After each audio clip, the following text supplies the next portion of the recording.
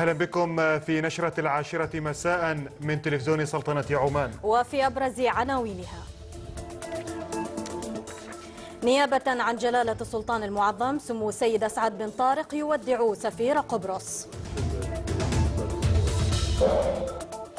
السلطنة وأستراليا تبحثان التعاون في مجال الأمن الغذائي والاستثمار في القطاعات الزراعية والسمكية والثروة الحيوانية.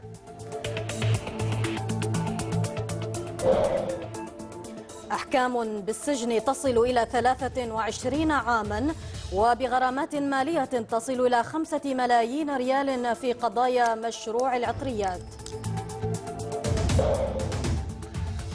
السلطة الفلسطينية تستبعد أي تمديد لمفاوضات السلام مع الإسرائيليين وشهيد فلسطيني في قصف لصواريخ الاحتلال على منزله.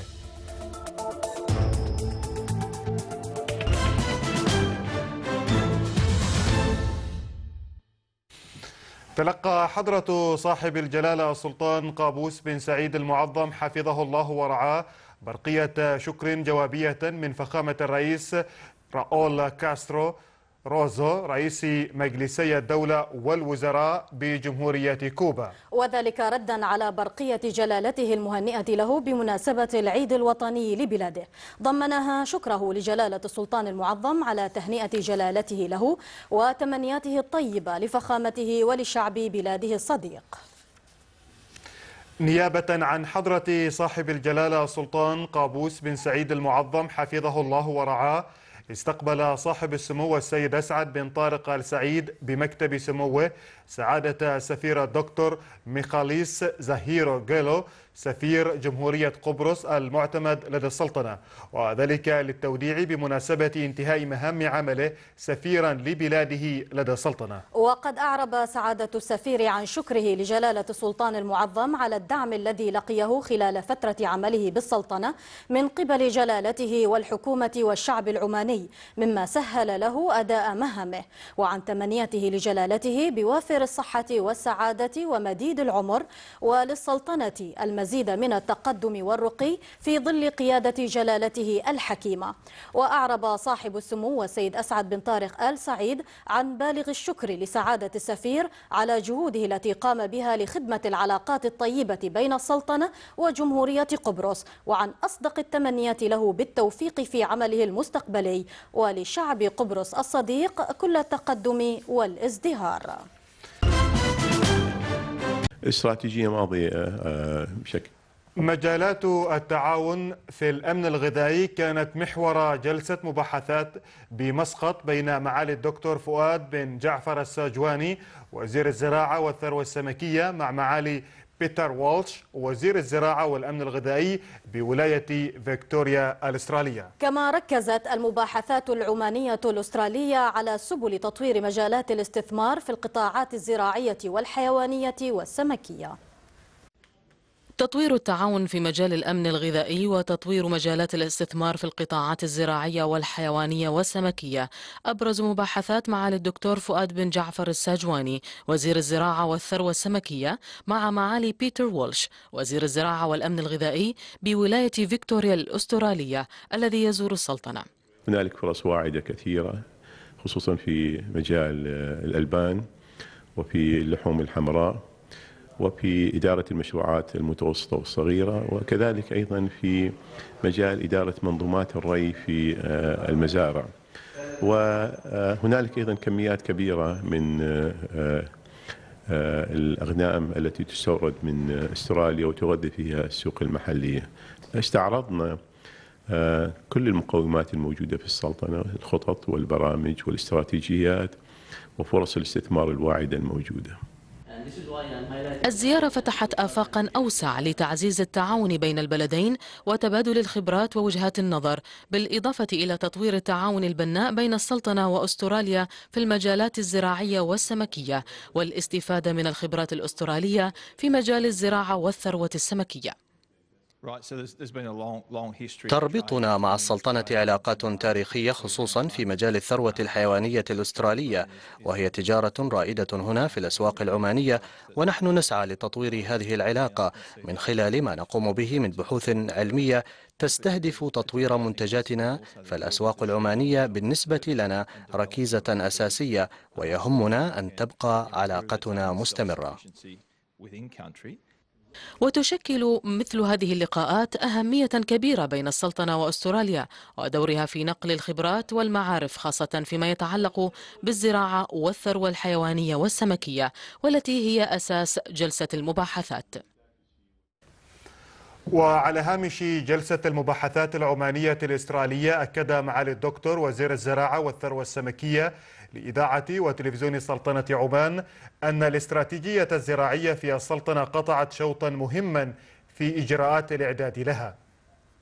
استراتيجية ماضية آه، بشكل طيب آه، انتهينا طبعا من التعداد الزراعي آه، الثالث ونتائج التعداد كان ضرورية لإعداد الاستراتيجية. استراتيجية تم توقيع الاتفاقية مع منظمة الأغذية والزراعة الدولي الفاو وقطعنا نصف الشوط تقريبا. نتأمل إن شاء الله النتائج الأولية ستكون قبل شهر سبتمبر القادم. فبالتالي إحنا ماضيين بشكل جيد مع البرنامج العمل الخاص بهذه الاستراتيجية والإعداد لها بشكل جيد.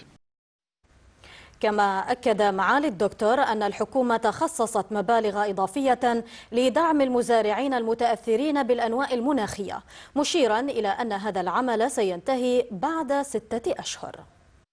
طبعا كان في قرار متخذ أنه بتخفيف آه، الوضع للمواطنين أصحاب المزارع وفي الفترة الأخيرة أيضا قامت الحكومة بتخصيص مبالغ إضافية وتم تشكيل فريق عمل لتقديم الدعم للمواطنين. راح يكون على شكل بيوت محمية على شكل أنظمة ري على شكل بعض المعدات مثل حراثات على شكل فسائل نخيل. والفرق الفرق المفروض تنتهي من عملها خلال ستة أشهر من اليوم. فبالتالي نأمل أن تغطي المزارع التي تأثرت بالأنواع المناخية فت قضت محكمة الاستئناف في مسقط اليوم بسجن الرئيس التنفيذي السابق لشركة النفط العمانية 23 عاما وتغريمه خمسة ملايين ريال وعزله من وظيفته مطلقا. وذلك بعد إدانته في قضايا غسيل أموال ورشوة واستغلال المنصب المتعلقة بمشروع العطريات.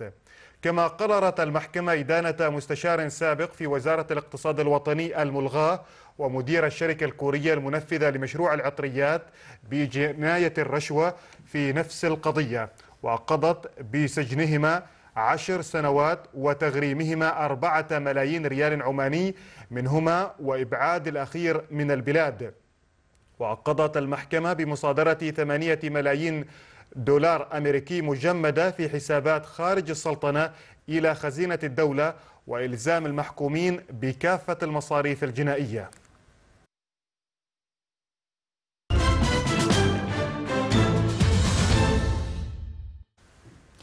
رفضت السلطة الفلسطينية فكرة تمديد مفاوضات السلام الجارية حاليا مع الإسرائيليين لما بعد الموعد النهائي المقرر نهاية أبريل المقبل. وقال كبير المفاوضين صائب عريقات إنه لا معنى لتمديدها إذا استمرت الحكومة الإسرائيلية في التنكر للقانون الدولي. من جانب آخر أدانت السلطة الفلسطينية استشهاد شاب فلسطيني إثر تطويق الجيش الإسرائيلي لمنزله برام الله وقصفه بصواريخ. جريمة جديدة تضاف إلى مسلسل الجرائم الإسرائيلية ضد الفلسطينيين. فاغتالت إسرائيل اليوم الشاب معتز وشحة من بلدة بيرزيت شمال رام الله. وتعمدت قتل الشهيد بعدما حاصرت منزله وأخرجت جميع ساكنيه. ومن ثم قصفت المنزل بعدة صواريخ ما أدى إلى هدم أجزاء منه. واقتحمت المنزل المحاصر وسط إطلاق مكثف للرصاص. وقامت قوات الاحتلال بتصفية الشهيد وشحة بدعوى أنه مطلوب لإسرائيل. الحكومة الفلسطينية أدانت عملية الاغتيال معتبرة الاغتيال وما يوازيه من جرائم احتلالية يومية تقويضا لكافة الجهود الدولية المبذولة لإحلال السلام. فيما تعالت الأصوات لدى القوى والفصائل الوطنية في رام الله بدعوة القيادة الفلسطينية إلى وقف المفاوضات الدائرة مع إسرائيل ردا على جرائم الاغتيال. أنا أعتقد أن هذه رسالة إسرائيلية واضحة لإفشال الجهود الأمريكية ولتقول للمجتمع الدولي بأنها اختارت الاحتلال ومصرة على إبقائه وإدامته وبأنها تسعى إلى تفجير يعني وجرنا إلى دوامة من الفعل ورد الفعل وهذا هو المربع المفضل للحكومة الإسرائيلية. ولكن بالحقيقة مطلوب موقف دولي واضح تجاه هذه الجرائم الإسرائيلية. ولما كثر الجدل حول الموعد النهائي للمفاوضات أعلن الفلسطينيون اليوم رفضهم المطلق لأي تمديد لموعد المفاوضات بين الفلسطينيين والإسرائيليين إلى ما بعد نيسان المقبل. وذلك ردا على تصريح لوزير الخارجية الأمريكية جون كيري قال بأن المفاوضات ستستمر لتسعة أشهر أخرى. هو يشترط الاعتراف بيهودية الدولة مقابل اعترافه بدولة فلسطين التي نتحدث عنها بذات حدود مؤقتة. وبالتالي ما يتحدث عنه هي مناورة وألاعيب من قبل نتنياهو وحكومته اليمينية المتطرفة وهي هذه الحكومة التي أغلقت كل إمكانية الحديث عن مسار سياسي من خلال ما تواصله من بناء وتوسيع الاستعمار الاستيطاني بما فيه في مدينة القدس ومحاولة الحيلولة بوجهة نظرها من خلال فرض وقائع على الأرض تحول دون إقامة الدولة الفلسطينية المعترف بها من قبل الأمم المتحدة. وفي إسرائيل تتعالى الأصوات التحذيرية للسلطة الفلسطينية في حال لجوئها إلى المؤسسات الدولية بعد انتهاء موعد المفاوضات في إبريل المقبل إلى حد وصل بإعداد إسرائيل لخطة انسحاب أحادي الجانب من الضفة الغربية. إحنا بالنسبة لنا المفاوضات ليست هدفا المفاوضات وسيلة. مش هدفنا المفاوضات من أجل المفاوضات. وبالتالي خلال الشهرين القادمات إذا لم يحقق شيء جدي فلن تمدد هذه المفاوضات. إن استمرت المفاوضات بين الفلسطينيين والإسرائيليين وإن نجحت أو لا إلا أن لواقع الفلسطينيين حقيقة واحدة هي احتلال يتعدى كل الحدود. رانيا عريدي تلفزيون سلطنة عمان فلسطين. حذر الرئيس الأوكراني المؤقت ألكسندر تريتشينوف روسيا من القيام بأي تحركات عسكرية خارج قاعدة أسطول البحر الأسود في شبه جزيرة القرم. قائلا إن أي تحرك من هذا النوع سيعتبر عدوانا. يأتي ذلك وسط توترات شهدتها الجزيرة بعد استيلاء مسلحين موالين للروس لمبان حكومية وطردهم لموظفيها. ترقب حذر بات يسود العلاقات الروسية الأوكرانية بعد التطورات الأخيرة التي شهدتها كييف حيث وضعت موسكو طائراتها المقاتلة في حالة التأهب القتالية تنفيذا لأوامر الرئيس الروسي فلاديمير بوتين بإجراء اختبار متكامل لجاهزية القوات المسلحة بالقرب من حدود أوكرانيا. في الوقت الذي عرضت فيه روسيا الحماية على الرئيس الأوكراني المعزول فيكتور ياكونوفيتش مجددة في الوقت نفسه تطميناتها على احترام إرادة الأوكرانيين. تلك التطمينات الروسية سرعان ما تبخرت حسب رأي المواطنين الأوكرانيين إثر سيطرة مسلحين موالين لروسيا على مبنيي الحكومة الإقليمية والبرلمان في شبه جزيرة القرم الأوكرانية ورفعهم للعلم الروسي الأمر الذي أعاد التوتر من جديد بين الجانبين.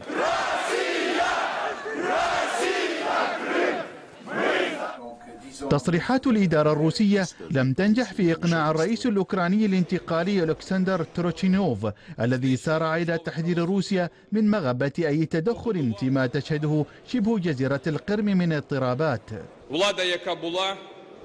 أهيب بالقيادة العسكرية للأسطول الروسي في البحر الأسود بأن أي تحركات عسكرية بما في ذلك الأسلحة خارج حدود هذه المنطقة سنعتبرها عدوانا عسكريا. وتعد شبه جزيرة القرم المنطقة الوحيدة في أوكرانيا التي توجد بها أغلبية روسية عرقية. وهي آخر معقل للمعارضة المناهضة للقيادة السياسية الجديدة في كييف بعد الإطاحة بالرئيس السابق يانوكوفيتش. وفي بروكسل قال الأمين العام لحلف الشمال الأطلسي أندريس فوغراسموسن إن الناتو ليس لديه ما يدعو للقلق بشأنه مضيفا مع ذلك بأن الوقت ليس ملائما. وخلال قمة لوزراء دفاع الحلف أكد راسموسن أن الجانب الروسي أوضح أن التدريبات ليس لها علاقة بالأحداث الجارية في أوكرانيا. مضيفا أنه رغم ذلك فإنه من الواضح أن تصادف توقيت التدريبات مع الأحداث الجارية في أوكرانيا لا يساعد على تهدئة الأوضاع بين البلدين. أعلنت كوريا الجنوبية أن جارتها الشمالية أطلقت أربعة صواريخ قصيرة المدى من ساحلها الشرقي. وقال متحدث باسم وزارة الدفاع في سول أن مدى إن مدى كل صاروخ يقدر بنحو 200 كيلومتر مضيفا أنه لم يتضح ما إذا كان تم إطلاق الصواريخ في إطار مناورات عسكرية كورية شمالية. وعادة ما يجري الجيش الكوري الشمالي تجارب لصواريخ قصيرة المدى تلقى انتقادات من سول وواشنطن اللتين تجريان حاليا مناورات عسكرية بحرية. نشرتنا مستمرة من تلفزيون سلطنة عمان وتتابعون فيها بعد الفاصل. التقنيات الحديثة توفر الجهد وترفع إنتاج صناعة السكر الأحمر التقليدية ببهلة.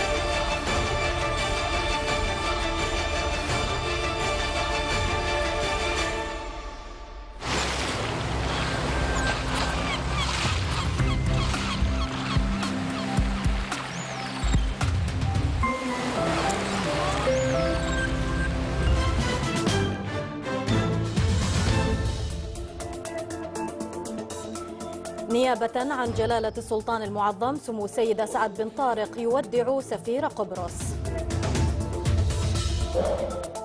السلطنة وأستراليا تبحثان التعاون في مجالات الأمن الغذائي والاستثمار في القطاعات الزراعية والسمكية والثروة الحيوانية.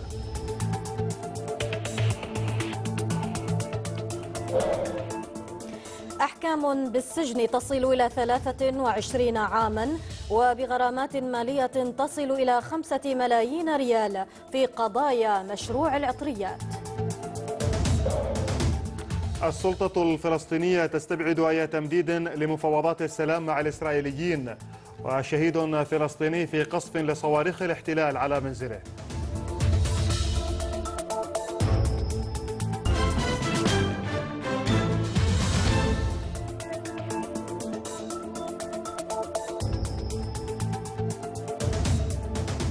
التعاون في المجالات العسكرية بين السلطنة والولايات المتحدة كان محور لقاء الفريق الركن أحمد بن حارث النبهاني رئيس أركان قوات السلطان المسلحة. مع ماثيو سبنس نائب مساعد وزير الدفاع الأمريكي رئيس الجانب الأمريكي المشارك في اجتماع اللجنة العمانية الأمريكية المشتركة والوفد المرافق له الذي يزور السلطنة حاليا. جرى خلال المقابلة كذلك تبادل وجهات النظر ومناقشة عدد من الأمور ذات الاهتمام المشترك واستعرض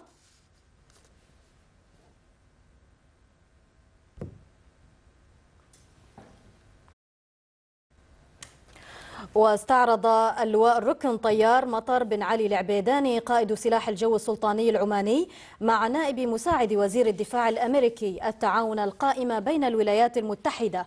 كما جرى خلال المقابلة تبادل الأحاديث الودية وبحث عدد من الأمور ذات الاهتمام المشترك.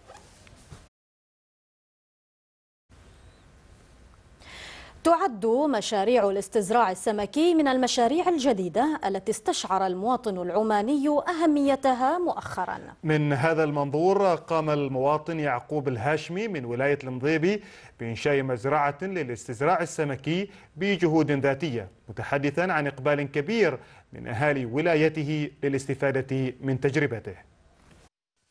الاستزراع السمكي بعيدا عن مياه البحر يعد فكرة رائدة تبناها الكثير من المزارعين العمانيين وقاموا بتنفيذها بمزارعهم في أحواض خصصت لذلك.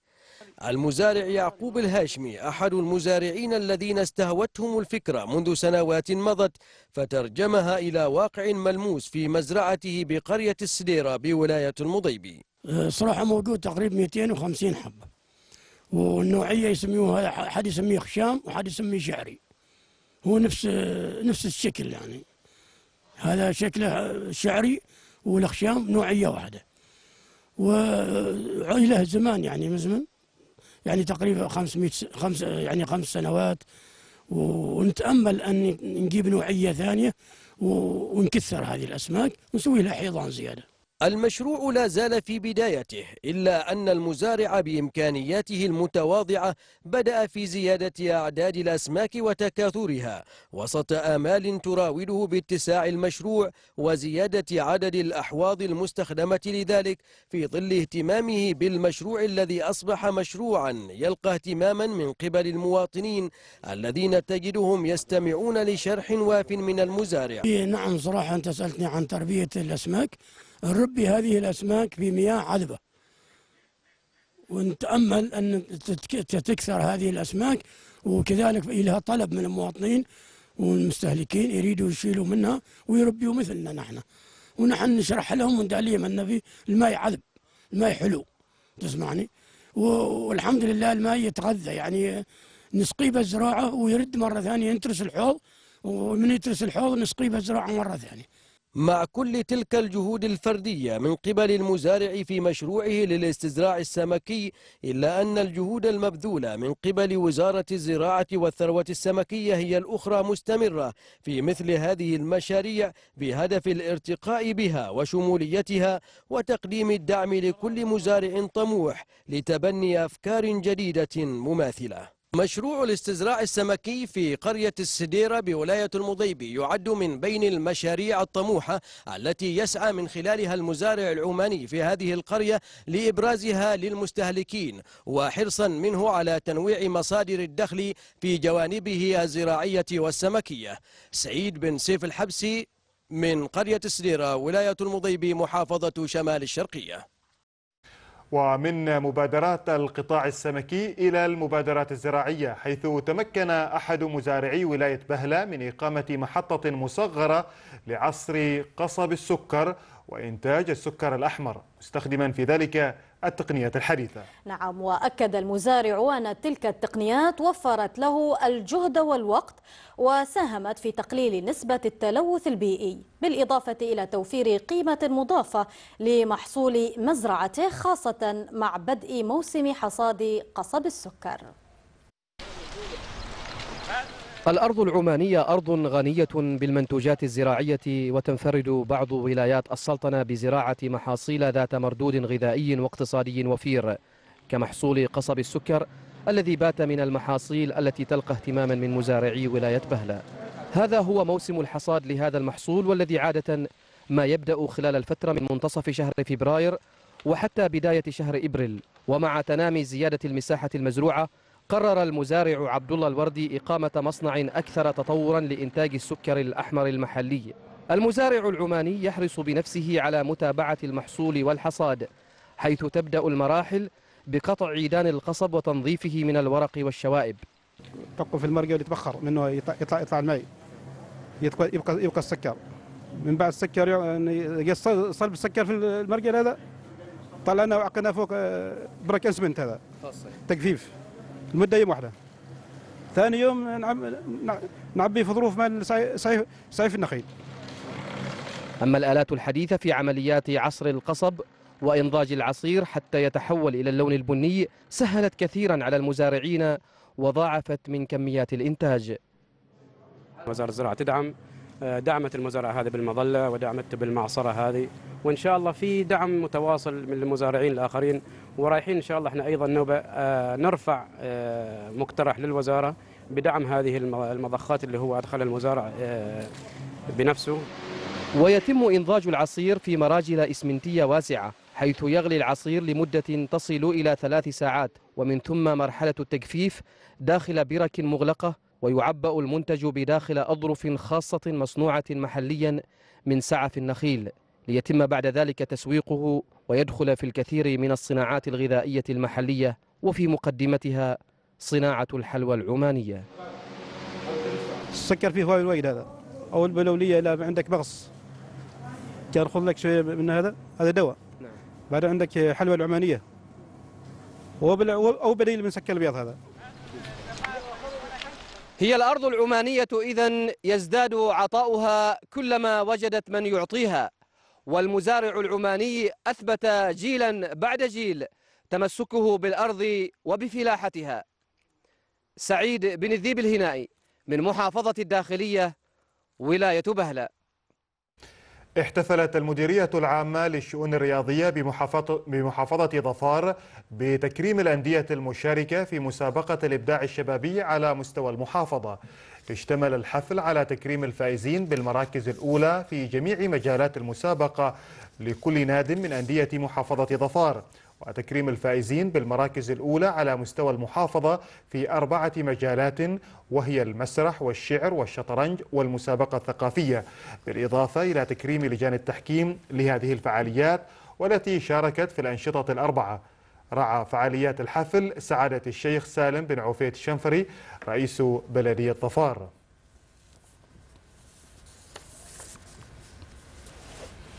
في بادرة تهدف لغرس قيم العمل التطوعي نفذ معلمو وطلبة مدرسة الخليل بن عبد الله للتعليم الأساسي في ولاية بدبد حملة تنظيف للأودية التي عادة ما تجذب السياح للاستمتاع بطبيعتها. وأكد مسؤولو المدرسة أن البادرة جاءت لزرع القيم التطوعية عمليا للطلبة لتواكب ما اكتسبوه من المقررات الدراسية. أكثر من 600 من المعلمين والطلبة اشتركوا في فعاليات هذا اليوم من أجل الحفاظ على نظافة المكان. هذه رسالة قرسها مولانا حضرة صاحب الجلالة باستشعاره وبأمره بالمسابقة التطوعية. فهذه يعني دليل على أنه هذا التطوع هو هو تعاون هو يحث عليه الدين ويحث عليه الحس الوطني لكل مواطن فهو التكافل هو العمل الخيري اللي ممكن أي واحد يقوم فيه. غرس قيم ومبادئ العمل التطوعي في نفوس الطلبة وإبراز جماليات الأماكن السياحية بالولاية وتهيئتها لاستقبال السياح. أهم ما هدفت إليه الفعالية من خلال الأعمال المتنوعة التي اشتملت على تنظيف أودية الولاية والتخلص من المخلفات الزراعية. جاءت الفكرة أن نزرع هذه القيم من خلال ممارسة عملية وليست من جانب نظري يقرأه الطالب آه، في المقرر الدراسي. فتم التنسيق مع مكتب سعادة الوالي الولاية ومكتب إدارة الخدمات الصحية وبلدية بدبد والإخوة في المجلس البلدي من أجل آه، إقامة حملة عمل تطوعي تحقق عدة أهداف. الهدف الأول آه، عملية يعني حملة نظافة أشبه ما تكون بحملة نظافة لأماكن آه، يرتادها كثير من السياح. نحن طبعا جينا بالمسمى ضمن تشكيله كاملة مدرسه خليل بن عبد الله للقيام بعمل تطوعي بداية قدوة لبعض الناس في سلطنة عمان وخاصة نحن نعمل لمسة جمالية لهذا الوادي من خلال تنظيفه. وهذا كله يعني في النهاية نستفيد منه ونستفيد يستفيد الناس الثانيين اللي يجيهم بعدنا هذه الفعالية أظهرت تكاتف جميع مؤسسات المجتمع فاشتركت بفعالية من أجل تحقيق الأهداف المرجوة منها كبلدية بدبد ومكتب الخدمات الصحية ومكتب والي بدبد. هكذا تمارس المدرسة دورها في تنمية قيم العمل التطوعي لدى الناشئة. وقد اجتمع هؤلاء الطلبة اليوم للقيام بهذه الأعمال ولسان حالهم يقول كلنا نعمل من أجل عمان. إبراهيم بن ناصر رواحي محافظة الداخلية ولاية بدبد. وننتقل الآن إلى أهم الأخبار الاقتصادية مع الزميل علي صعر النشرة الاقتصادية. برعاية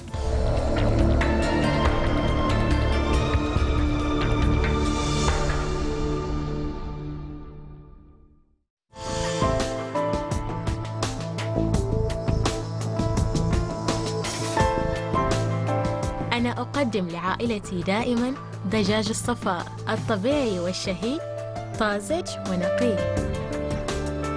دجاج الصفاء 100% طبيعي وشهي 100% عماني وحلال. الصفاء اختيارك الطبيعي الصحي والشهي. الصفاء. شكرا لكم إبراهيم وعايدة على جميل ما جئتما به وأهلا بكم مشاهدينا إلى الموجز الاقتصادي والبداية من أبرز العناوين. مؤشر سوق مسقط للأوراق المالية ينهي جلسات الأسبوع على ارتفاع.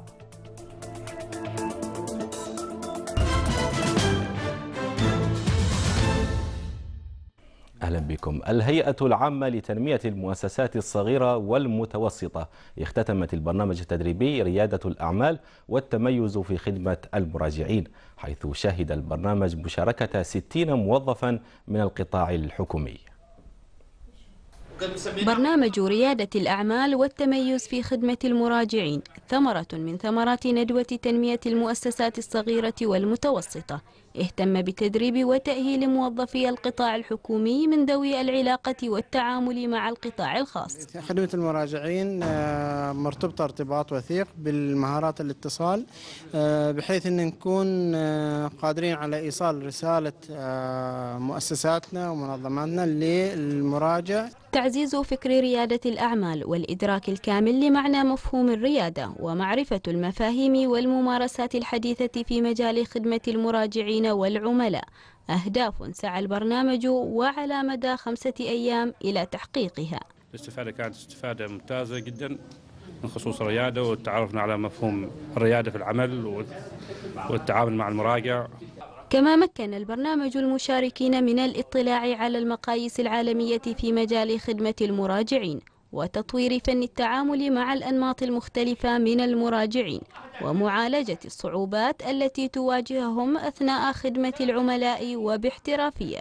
برنامج طرح بعض التجارب بالنسبة كيفية خدمة العملاء بطرق واستغناء عن الطرق التقليدية المتعارف عليها سابقا ورقية واستعرض بعض التجارب الإلكترونية متزامنة مع متطلبات العصر الحديث حيث أن المعاملة تنجز بأسرع وقت ممكن من أجل الوصول لخدمة عملاء متميزة. تنوعت أشكال التدريس والتدريب في البرنامج بين المسابقات وأسئلة الذكاء وعرض حالات للتعامل الجيد مع العملاء لتصب في مجملها في مصلحة القطاعين العام والخاص وهي خطة تسعى الهيئة العامة لتنمية المؤسسات الصغيرة والمتوسطة إلى تنفيذها عبر مراحل. ولا نزال نتابع أخبارنا المحلية. فبقيادة القطاع المالي والشركات أنهى مؤشر سوق مسقط للأوراق المالية. أنهى جلسات الأسبوع على ارتفاع بلغ 11 نقطة وبحجم تداول بلغ 14 مليون ريال من خلال تداولات تجاوزت 32 مليون سهم. السلام عليكم ورحمة الله وبركاته أعزائي المشاهدين. أهلا ومرحبا بكم إلى حركة التداول في سوق مسقط للأوراق المالية. أنهى مؤشر سوق مسقط للأوراق المالية جلساته الأسبوعية على ارتفاع بمقدار 11 نقطة وبنسبة 0.16% مؤشر سوق مسقط وصل عند الإغلاق إلى مستوى 7113 نقطة. بالنسبة لقيمة التداول فهناك نشاط أيضا في أحجام وقيم التداول اليوم حيث آه، سجلت قيمة التداول ارتفاعا بنسبة 46% بعد أن بلغت 14 مليون و351 ألف ريال فيما تم التداول بأكثر من 32 مليون سهم وتنفيذ 2247 صفقة. على صعيد القطاعات الرئيسية. شهدت القطاعات الرئيسية اليوم تباينا في الأداء حيث ارتفع مؤشر القطاع المالي بأقل من نقطتين إلى مستوى 8387 نقطة. أما مؤشر قطاع الصناعة فقد شهد تراجعا ب 27 نقطة إلى مستوى 10868 نقطة. فيما ارتفع أيضا مؤشر الخدمات ب 8.31 نقطة أغلق عند 3810 نقاط. الشركات الأكثر نشاطا في عدد الأسهم المتداولة. تصدرها في ختام جلسات الأسبوع. سهم الشركة الخليجية لخدمات الاستثمار. بعد أن تداول المستثمرون بأكثر من 7 ملايين و500 ألف سهم لسهم الشركة وأغلق سعر سهم الشركة عند 300 بيسة. أما بالنسبة للشركات الأكثر تداولا في القيمة فقد تصدرها سهم بنك مسقط بقيمة جاوزت المليونين و300 ألف ريال وأغلق عند أو أغلق سعر سهم البنك عند 630 وثمانين بيسة. شهد سوق مسقط الأوراق المالية اليوم تداول أسهم 58 شركة. ارتفعت أسعار أسهم 19 شركة وتصدر الارتفاعات سهم شركة حلويات عمان مرتفعا بأكثر من 8% أغلق عند ريال 145 بيسة يلي في الارتفاع سهم الشركة المتحدة للطاقة مرتفعا بأكثر من 5% أقفل عند ريال 755 بيسة هناك ارتفاع لسهم شركة الباطنة للتنمية والاستثمار ب 2.70% ليرتفع إلى سعر 152 بيسة وكذلك الصعود لسهم شركة صحال للطاقة ب 2.49% بعد أن وصل إلى سعر 3 ريالات و700 بيسة. سهم الشركة الخليجية لخدمات الاستثمار شهد ارتفاع ما يقارب من 2% أقفل عند 300 بيسة. سوق مسقط أيضا شهدت تراجع اليوم أسعار أسهم 18 شركة وتصدرها في الانخفاض. سهم شركة الخليج الدولية للكيماويات متراجعا بأكثر من 2% ليتراجع إلى سعر 263 بيسة. يلي في الانخفاض سهم شركة الحسن الهندسية ب 2.08% آه، تراجع إلى سعر 235 بيسة. هناك أيضا انخفاض لسهم شركة مطاحن وصلالة ب 1.76% أقفل عند ريال و500 بيسة. وكذلك تراجع لسهم شركة الشرقية للاستثمار القابضة ب 1.67% ليتراجع سعر سهم الشركة عند 295 بيسة. أخيرا سهم شركة صناعة مواد البناء شهد تراجع ب 1.52% آه، ليتراجع إلى سعر 65 بيسة. في الختام أعزائي المشاهدين أشكركم على حسن متابعتكم وإلى اللقاء. وضمن أخبارنا العالمية مشاهدين اقترح الرئيس الأمريكي باراك أوباما استثمار ثلاثة مليارات دولار في البنى التحتية العامة لبلاده آملا في أن ينشط ذلك من معدلات النمو والتوظيف. وقال الرئيس الأمريكي لدى افتتاحه مستودع قطارات مجددة في في مينيسوتا إن خطته التي أعلنها سابقا لدعم قطاع النقل بقروض تقدر ب 600 مليون دولار نجحت في تحقيق تراجع لمستوى البطالة إلى 6.6% من الشريحة العاملة في يناير الماضي مقابل 10% في وقت الأزمة. ويطالب أوباما منذ أعوام من الكونغرس إعداد ميزانية مهمة للبنى التحتية خصوصا النقل العام واقتراح تمويل الخطة الجديدة بمبلغ ثلاثة مليارات دولار على أن يكون نصفه من الضرائب على الشركات. بعد مبيعات فاقت توقعاتها. العام الماضي قررت شركة الطيران العملاقة إيرباص زيادة إنتاجها الشهري من الطائرات لتقترب من حاجز الخمسين طائرة. تعتزم إيرباص زيادة إنتاجها بمقدار أربعة طائرات شهريا لتصل إلى 46 طائرة خاصة بعد أن فاقت شركات الطائرات في مبيعاتها خلال عام 2013 Uh, uh, في المقام الأول يجب التأكد من أن بمقدورنا تسليم الطائرة A350 بنهاية العام ونحن في الطريق إلى ذلك. ولقد قررنا زيادة الإنتاج إلى 46 طائرة حتى نكون مستعدين للوفاء بالاحتياجات. لذا فنحن مشغولون بما يكفيه وتقل إيرباص بهذا المعدل المعلن عن المعدل المستهدف لمنافستها اللدود بوينغ بطائرة واحدة.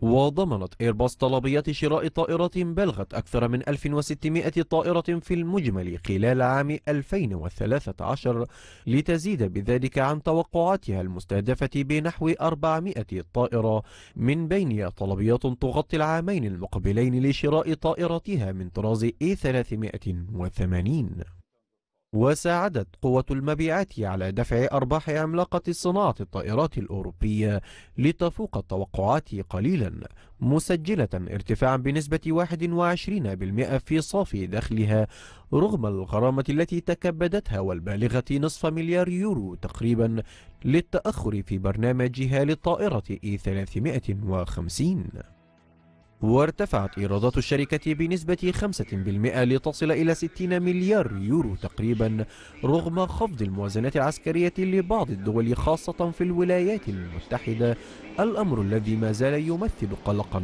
لإيرباص. وتواجه الشركة احتمالية حدوث هبوط حاد في عمليات التسليم بدءا من عام 2016 في ظل عدم وجود طرازات جديدة قيد التصميم بها.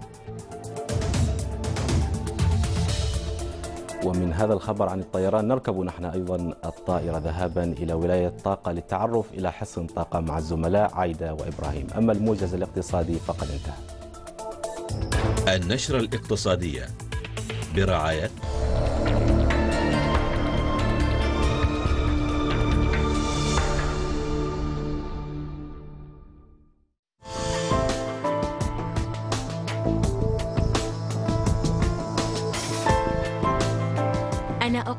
أقدم لعائلتي دائما دجاج الصفاء الطبيعي والشهي طازج ونقي. دجاج الصفاء 100% طبيعي وشهي 100% عماني وحلال. الصفاء اختيارك الطبيعي الصحي والشهي.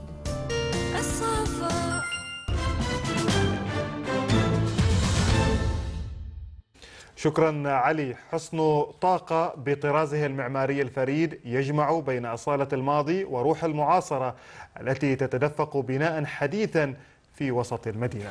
الحصن كان شاهدا على أحداث تاريخية شهدتها محافظة ظفار وهو أيضا شاهد على نهضة عمان الحديثة التي امتدت لتعيد إلى الحصن بريقه وروعته. حصن طاقة أحد المعالم التاريخية والسياحية في ولاية طاقة حيث يقدر عمره بأكثر من 130 عاما. وهو مقصد سياحي للعديد من الأفواج السياحية على مدار العام.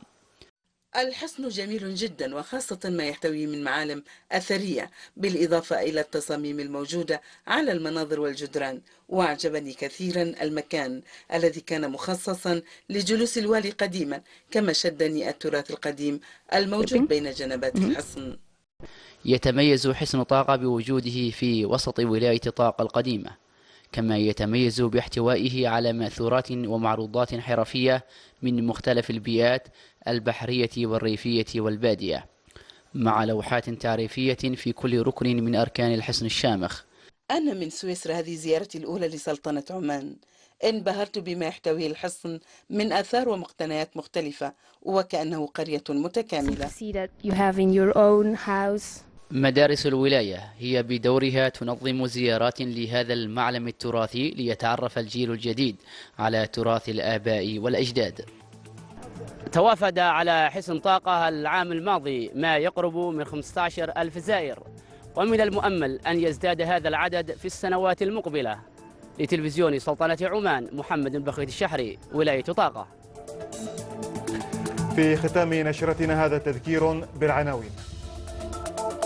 نيابة عن جلالة السلطان المعظم سمو السيد أسعد بن طارق يودع سفير قبرص. السلطنة وأستراليا تبحثان التعاون في مجالات الأمن الغذائي والاستثمار في القطاعات الزراعية والسمكية والثروة الحيوانية. أحكام بالسجن تصل إلى 23 عاما وبغرامات مالية تصل إلى 5 ملايين ريال في قضايا مشروع العطريات. السلطة الفلسطينية تستبعد أي تمديد لمفاوضات السلام مع الإسرائيليين. وشهيد فلسطيني في قصف لصواريخ الاحتلال على منزله. أشكركم على حسن المتابعة. نشرتنا القادمة في الواحدة صباحا بإذن الله. إلى اللقاء.